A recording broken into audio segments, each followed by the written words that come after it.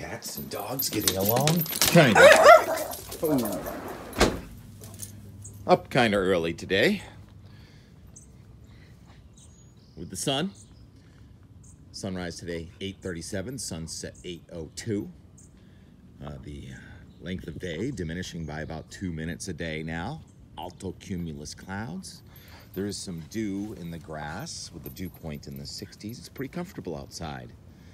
A couple of sprinkles on radar. You can make out uh, a little bit of rain trying to fall out of the cloud there. That's uh, way out over Worcester. Alto cumulus, slight chance of an afternoon shower or thunderstorm today. Wind is out of the southwest. Nice breeze, but it's a hot one with temperature low 90s. The dew point should hold in the 60s. Let's look at the weather map. So, uh, yeah, there's several fronts, but there's just not a lot of focus of the energy and not a deep layer of moisture. So, not enough lift. There's instability, so where it does rain, it could pour pretty good. Lifted index to minus four in Boston. Tomorrow, little high pressure system. It's gonna be cooler, especially near the shore. The temperature about 80 tomorrow. Thursday's still looking like the hot one, but not as hot as the guidance had of 100 degrees. It's now looking more like 96 or 7 degrees. oh, it's so pleasant out right now. Working on Cape Cod today, so I get up really early. It's going to be trying to do a quick one. And once again, something has grabbed a tomato, gotten a little bite of food, a little bit of a drink of water out of there, and one less tomato for Tim. Got to grow enough for the animals. Father always said that. Happy birthday to brother, Ed Kelley, on Cape Cod. Hopefully having a day off today. The next warm front comes in Thursday morning, and Thursday with a temperature in the mid 90s. The dew point may actually come down a little bit with a breeze during the middle of the day and some mixing, so the dew point will be near 70, maybe fall into the 60s. Very muggy night. And it looks like we are going to have a heat wave. You know, I mentioned yesterday that maybe the, the coast would cool off enough that it wouldn't be a heat wave in Boston. And the guidance, that Euro with the uncertainty, actually showed a temperature of 76 in Boston on Saturday, which was not really believable. It was at the lower end of that uh, red shaded area, and now it's back up into the 90s. So heat wave is happening in New England Thursday, Friday, Saturday, Sunday, maybe into Monday. And not expecting anything in there. NAM prints out 0.1 for Boston today. We'll see about that. Rescue Garden's doing okay.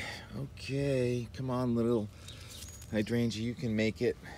And as for the compost pile, that zucchini had no bites out of it last night. This was half a squash, and there was a half of a, a beefsteak tomato here.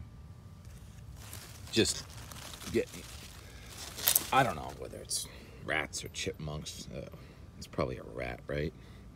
don't tell anybody. I think who doesn't have rats? But as long as they're way out in the backyard and not near the kitchen, that's pretty good. I know, I know. All right, so yeah, I'm gonna go do some tree work today on Cape Cod. That'll be the and more part tomorrow. That should be interesting. And so I'll just leave you with a quick uh, note on, well, wait, the Blue Hill Observatory. Got to talk about that. Fundraiser next uh, Wednesday.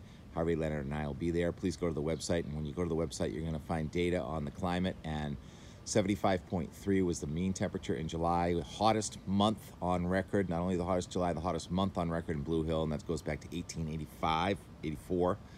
And also precipitation deficit of nine inches, so about 21 inches of rain so far this year with the average near 31. And that's why the animals are doing whatever they can to get moisture, and the humans. All right, sunset yesterday, 8.01. Last sunset of 8 o'clock is uh, Thursday, I think. This is what it looked like yesterday. See you later. Right on schedule. The sun goes below the cloud. Queuing up another gorgeous sunset.